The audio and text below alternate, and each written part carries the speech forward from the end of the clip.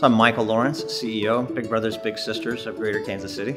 You know, quite simply, we create friendships that wouldn't naturally exist, uh, life-changing friendships between children who want and truly need a mentor in their life, and volunteers are willing to share their time uh, to truly make a difference. We have a reputation of being a great screening agency when it comes to choosing volunteers.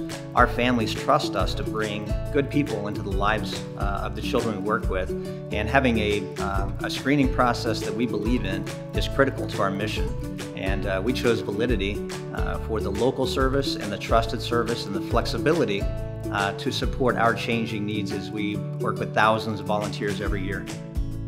You know, our volunteers, again, are people that we have to trust, uh, people that uh, are willing to share their time uh, with the child to make a difference.